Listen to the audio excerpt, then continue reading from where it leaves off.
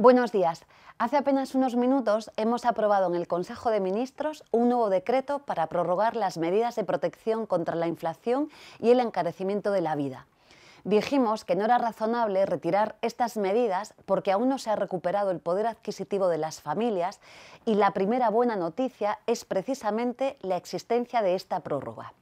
Damos así continuidad a la estrategia de combatir la inflación y proteger a la ciudadanía con medidas económicas, fiscales, sociales y laborales que se han demostrado muy eficaces para reducir los precios y para mejorar la vida de la gente.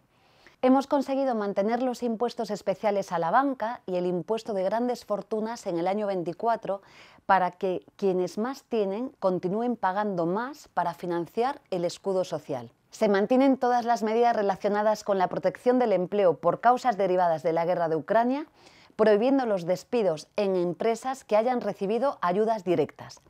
Se mantiene también la prohibición de los desahucios y el corte de suministros para las familias vulnerables, dos medidas clave para garantizar la tranquilidad de las mayorías trabajadoras de nuestro país. En relación al transporte público, seguimos reduciendo los precios para el conjunto de la ciudadanía, incluyendo el mantenimiento de la gratuidad de los abonos de Renfe y la reducción del abono de transporte al 50% para toda la ciudadanía.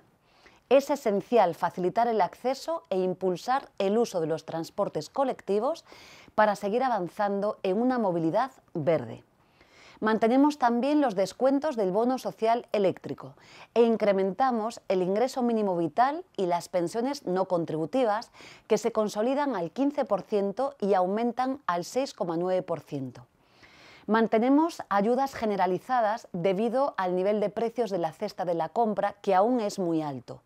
También mantenemos el IVA de la electricidad y el gas, que se sitúa en el 10%, muy por debajo del 21% en el que estaba antes de que empezáramos a establecer estas medidas.